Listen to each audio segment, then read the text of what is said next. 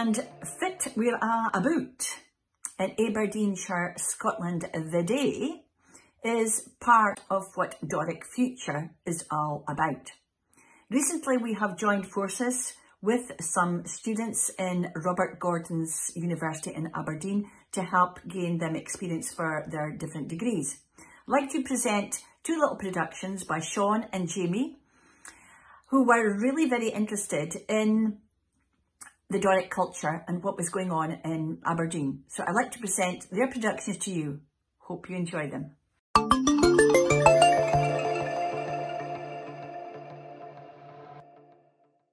Thank you, Alec, for coming on to Doric TV. Yeah, totally welcome. Uh, got a few questions for you. If you Sure. Good if you could ask. Not ask. Answer them, sorry. Uh, so, being a Doric born actor, what would you say are some of the opportunities and challenges you might face? Um, well, right from the beginning, going to drama school, coming from Aberdeen, I grew up speaking broad Doric. My my my mum was from Kemnay, so it was eh, you know country Doric, uh, Paradise Road in Kemnay. She always said that was a joke. she grew up during the, the Second World War. Um, going to drama school, they ironed my accent out. You can hear the way I speak now. This is how I normally. I'm not acting. This is my normal way of speaking. So it's kind of Aberdeen tinged, but it's not broad Doric. And I can start speaking like that if I want to, because that's who I grew up. But drama school, they knocked that out of me completely. And the weirdest thing, it wasn't even the Aberdonian they wanted. They wanted to knock out all Scottishness out of me. So we did RP all the time. All the parts you had to play were all in English RP. Then, when I left, immediately I got jobs like Taggart uh, and another two jobs at STV. They wanted a Glasgow accent for that. Uh, It was incredible. I got cast in London, and I went down to London, and they went, "Oh, you're not from Glasgow," and I went, uh, "Well, actually, no. I'm from I'm from Aberdeen. Is is that a problem?" Oh, it's just like, well, can you do it in Glasgow? Of course. And uh, literally, the first twenty years of my career, I did that. In fact, the, the biggest thing I'm known for, uh, Roughnecks, which was an oil oil thing, even though it was shot in Aberdeen, the character I was playing was Glaswegian. He was a Rangers supporter. Boo. Because I'm a big Don supporter. Well, talking about drama school, uh, did you? So you said you did go to drama school. Can you tell us a bit more about that? Yeah, it, it was at that time. It was called the Royal Scottish Academy of Music and Drama. It's now called the Royal uh, Conservatoire of Scotland (RCS). Royal That's what it's called. Yeah. That's where I went, and I did the diploma in dramatic art, which was the um, the acting one rather than the BA one. Uh, it wasn't actually that much different, but it was more geared to uh, being a professional actor. Yeah, very prestigious. Yeah. say, yeah. Uh, yeah, I mean Robert Carlyle was a year below me. John Hannah and Alan Cumming were in my year. In fact, I've worked with them. We've all worked together years ago in my career. Went up for a bit, first twenty years, then came down, and I'm just on the rise again now. Which is thank you. Uh, what are some of the more notable pieces of work in your that you've done for the acting industry? So what like?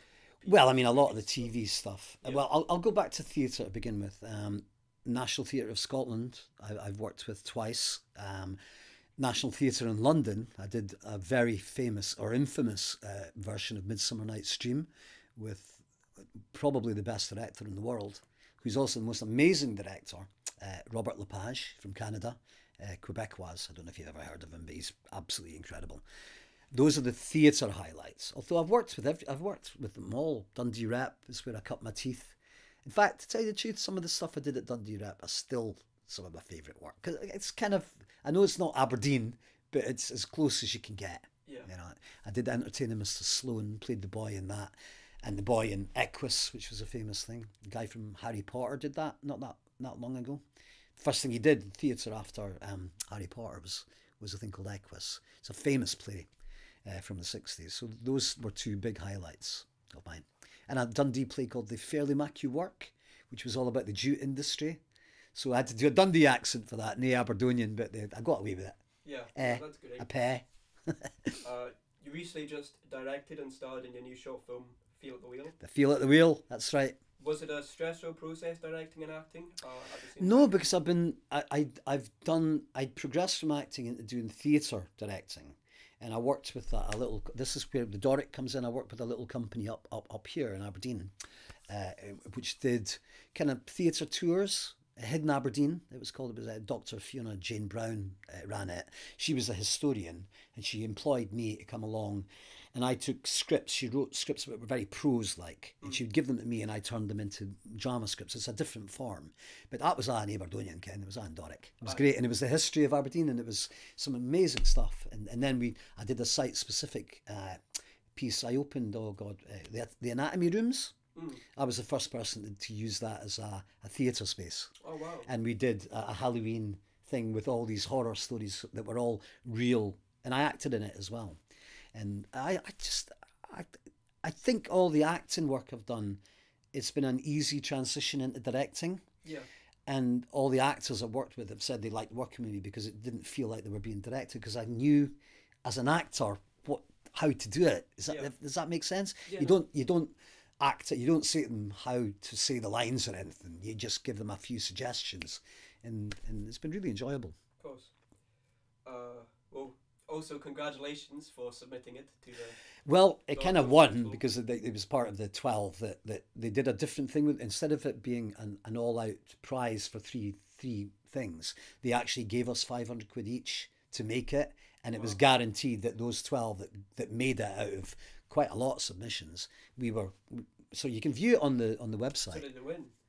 Well, yeah, the the 12, 12 of us were winners. Ah. Yeah, yeah.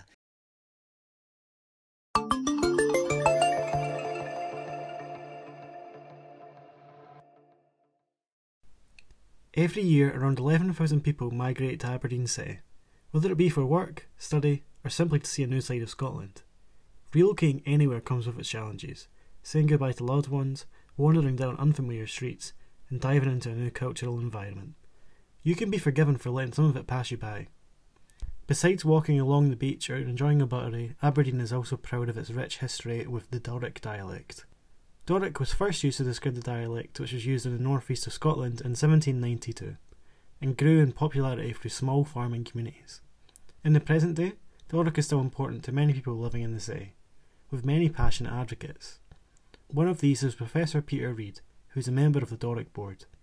it's fit was spoke at home um, and it is the way I would engage with my parents, with my family, with my neighbours, with my friends.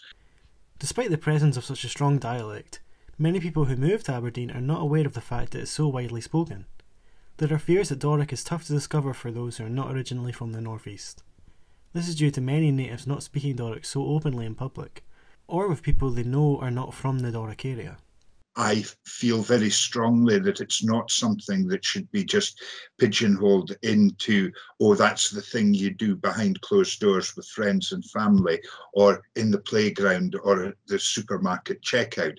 That actually there shouldn't be an embarrassment factor, factor in using the dialect. Um, it's an integral part of who we are in the northeast of Scotland. The work of great advocates for the dialect have inspired many Aberdonians to rekindle their love for their mother tongue.